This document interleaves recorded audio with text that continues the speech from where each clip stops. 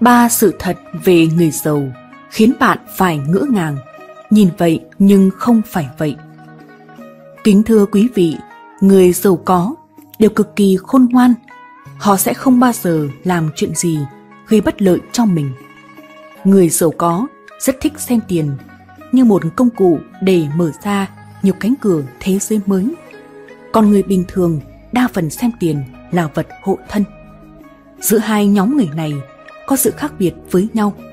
Người giàu hiểu rõ việc làm sao để tiền đẻ ra tiền. Còn người bình thường chỉ có thể kiếm tiền dựa vào mồ hôi, nước mắt. Vậy nên, bà sẽ phát hiện một hiện tượng rất kỳ lạ. Đó là người giàu sống tất bật sớm tối, còn người bình thường cuộc sống thoải mái hơn. Tại sao lại nói như vậy?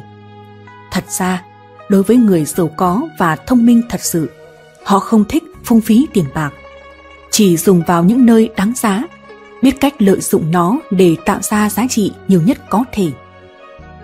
Một, người giàu thật sự thường không có tiền mặt trong tay. Tất cả mọi người đều biết, đa số những người giàu có đều kinh doanh hoặc mở công ty. Hầu như không bao giờ họ để tiền tủ động trên tay mình mà sẽ đầu tư vào các lĩnh vực khác nhau để sinh lời. Ngoài ra, người giàu có thật sự sẽ không dùng tiền mặt, đa số họ đều dùng thẻ ngân hàng, đặc biệt là thẻ tín dụng. Đến ngày tất toán thì trả cùng một lúc. Như vậy, họ sẽ thống kê được số tiền mình tiêu xài trong một tháng. Quan trọng hơn nữa là người giàu đều biết quản lý tài chính, cho nên họ không thể tự tiện tiêu xài quá mức và thường phải ứng tiền trước trong những trường hợp khẩn cấp. Cho nên, người giàu thường sẽ không có tiền mặt trong tay. Vì vậy, chúng ta thường lầm tưởng họ là những người không có tiền hoặc chi tiêu rất tiết kiệm. 2. Người giàu thường vay rất nhiều tiền. Tại sao lại nói người giàu hay bị thiếu tiền? Bởi vì họ không bằng lòng với cuộc sống hiện tại mà chỉ muốn có cây đẻ tiền. Cho nên, rất nhiều công ty, xưởng sản xuất đều vay tiền ngân hàng để đầu tư sinh lời. Bạn nói anh ta là người giàu, thế nhưng cũng nợ ngân hàng không ít. Nhìn anh ta mặc đồ sang quý, nhưng lại gánh một khoản nợ cực lớn trên lưng. Cũng đúng thôi, bạn phải biết là để vay mượn được số tiền cực lớn đó thì anh ta cũng phải có khoản thế chấp giá trị tương đương. Nhưng bình thường họ vẫn phải trả các khoản lãi suất rất cao. Vì vậy, những người vay mượn càng nhiều, họ càng tỏ ra nghèo hơn bình thường. Người giàu có thật sự sẽ không ngừng vay tiền ngân hàng, giống như Vương Kiện Lâm, tỷ phú người Trung Quốc, chủ tịch tập đoàn bất động sản Vạn Đạt, từng nói với con trai, tiền tài nhà chúng ta cho con hoang phí ba đời cũng không hết, nhưng mà nợ nần nhà này con phải trả tám đời cũng không xong.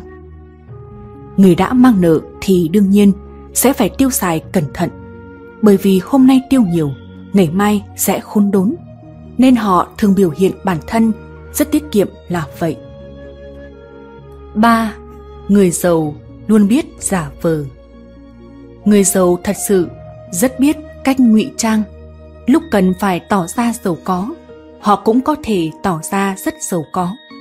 Nhưng lúc cần giả vờ nghèo khó, họ cũng là một tay sành giỏi, không thua kém ai người giàu không bao giờ thể hiện bản chất thật của họ trước mặt bạn, để tránh những rắc rối hay những người có dụng ý xấu. Bạn sẽ không bao giờ biết được họ giàu thật hay giàu phách. Bạn cũng thấy đấy, người giàu cực kỳ khôn ngoan, họ sẽ không bao giờ làm chuyện gì gây bất lợi cho mình.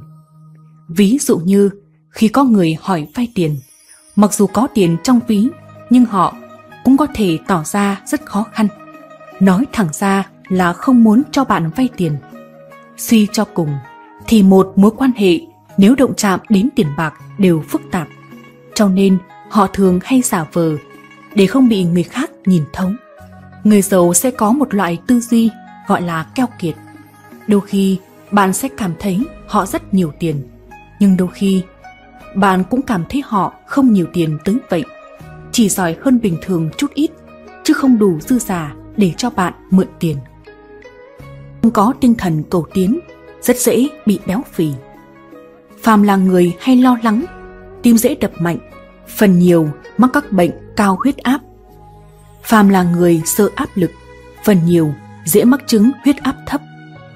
Phàm là những người đặc biệt thích sạch sẽ da rẻ thường không được tốt tỷ vị cũng không được khỏe. Phàm là người đau khổ quá độ phần nhiều tuyến tụy không được tốt lưng cũng không được tốt rất dễ có cảm giác nhức mỏi. Phàm là người hay buồn bực, phần nhiều dễ bị ngứa ngáy trên người. Phàm là những người cảm thấy đời người quá gian nan, thường thường khi đi đứng hành động, cảm thấy đặc biệt khó khăn. Tướng do tâm sinh, bệnh do tâm khởi, quả thực có đạo lý. Vậy nên, các loại bệnh tật suy cho cùng đều do tâm thái của bạn dẫn khởi cả. Bởi vậy muốn thay đổi vận mệnh, thân tâm an lạc, khỏe mạnh, trước tiên thì bạn cần phải thay đổi cái tâm mới được. Uống 10 thang thuốc, chẳng bằng nở một nụ cười sảng khoái. Thay đổi thái độ, nghĩ tích cực hơn, sống an lạc, nhẹ thân tâm, đạo trường sinh chẳng phải là đó sao? Vấn đề không chỉ khiến bản thân cảm thấy mệt mỏi, mà còn khiến cho mối quan hệ trở nên tồi tệ hơn thay vào đó, hãy nhìn nhận vấn đề ở một góc độ tích cực hơn. Bạn mất một khoản tiền để mua về, một bài học quý giá cho cuộc đời. Bạn biết được người bên cạnh đó có đáng để tin hay không? Dáng vẻ của một người sau khi đã trải qua biến cố nói lên rất nhiều điều. Chuyện qua rồi thì để nó qua đi. Dù có vướng bận thế nào cũng không có ích gì. Mỉm cười và tiếp tục sống thôi như hạt bụi nhỏ trên quần áo. Chỉ cần phủi chúng đi là sạch, vậy cớ sao lại phải vứt quần áo đi? Ba, người có đại khí, trong lòng có biển, chứa được trăm sông và thu được phúc khí của đời. Đường đời rộng mà cũng hẹp, cũng giống như lòng người. Trong tâm là biển lớn hay đường nhỏ quanh co, mấu chốt là phải nhìn vào tâm thái của mình. Người đại khí không vướng bận quá khứ sẽ sống vui vẻ, an yên.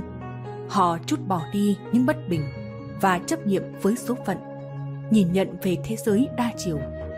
Tâm tính, tựa như ánh mặt trời ló dạng, cầm được thì cũng buông được. Người có đại khí, trái tim trở thành biển cả, chứa đựng những dòng sông và những bất công biến thành sự bình lặng. Sống đúng với con người của mình, không sân si, không mù quáng. Đại khí là một dạng tài phú là cội nguồn cơ bản của các phước lành.